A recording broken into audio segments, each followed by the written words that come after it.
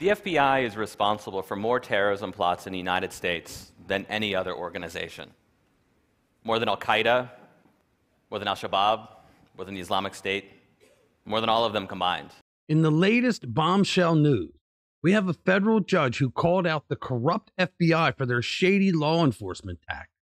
The judge just released an innocent man who was set up by the FBI and arrested for being a terrorist in a clear case of entrapment. It's not like they don't have a bunch of criminals out there committing real crimes at the federal level, but now they have to manufacture crime. We have to figure out why, so that we can figure out how to stop them. Let's get into it. Hey guys, welcome back to the channel. So, we have another video here where we're going to expose the lunacy of the left. I mean, grab your hip waders, guys, because today we're sloshing through the swampy muck of our so called DC justice system. And you heard it right a federal judge finally slapped down the corrupt FBI for their dirty dealings in a post 9 11 terrorist case. Guys, this goes back to 2011. This Judge McMahon ordered the release of one James Cromitie, I hope I pronounced his name right, saying the whole plot was drummed up by the shady FBI themselves. Makes your blood boil. The, the G men entrapped this Cromitie fella, planning and prodding him to attack synagogues and shoot down National Guard planes. The guy was just a doofus, low time criminal, and they got him to do these things. And then the FBI swooped in and nabbed their manufactured terrorists. It's textbook case entrapment. And this ain't the first time the rogue FBI went off the rails in their zeal to bag a so called domestic terrorist. Remember that farce of a plot to kidnap Governor Whitmer up Michigan? More FBI agents in that mix than there were actual kidnappers. Who can forget their dirty tricks framing the Oath Keepers?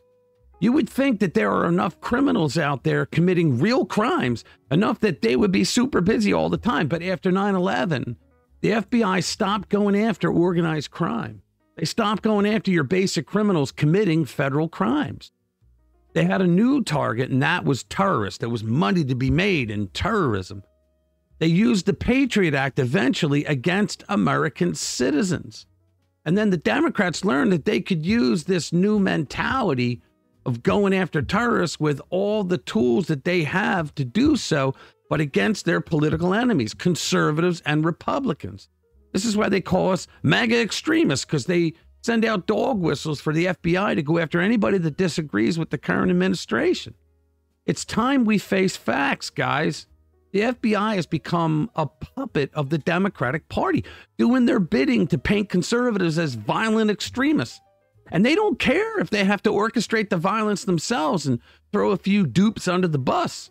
Out of control doesn't even begin to describe it. And you know, prior to 9 11, the federal government under the Clinton years, from what I remember, was not so squeaky clean as a whistle.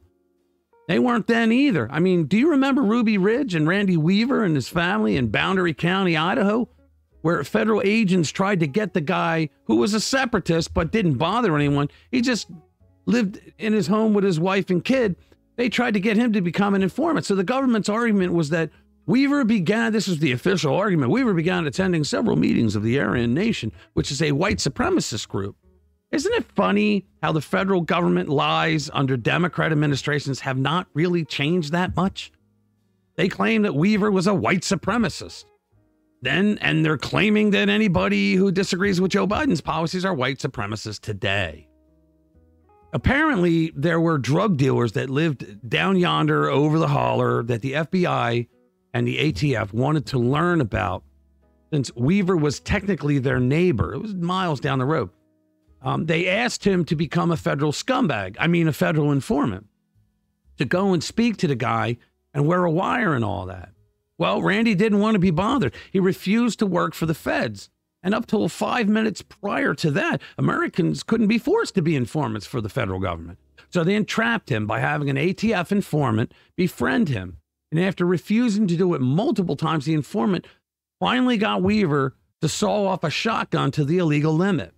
And that's when the feds immediately moved in and threatened Weaver that if he didn't become the informant they wanted him to be, they would charge him with gun violation. So what happened in the end? His family got killed in a shootout with the feds. The feds have been off the rails for quite some time, but right now it's getting worse than ever. What happens is the agency is now all about you rising up the ladder in rank and getting that better G pay scale. You know, and and the only way to do that is to do exactly what your superiors tell you, even if you feel that it's not right, that it's immoral or wrong. But when you do what your bosses tell you to do without question, that's how you rise up in rank. Whatever happened to just going after the real bad guys? So, what's the solution here? Well, this judge handing down a smackdown is a good start. It ain't enough. We need a top down house cleaning at the Bureau.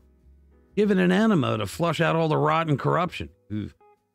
And the agents who broke their oaths, they need to be locked up. Federal prison, not some country club fed, but who's going to do it? Donald Trump will do it. The FBI's dishonesty and corruption has no place in America.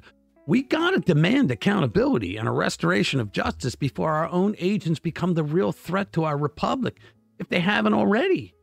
So call your representatives and raise hell until we see action. The time for pussyfooting around is over. Guys, we could be losing the republic right now, and our own federal agents who we pay for are going to be the cause of it. All right, subscribe to our channel if you haven't already.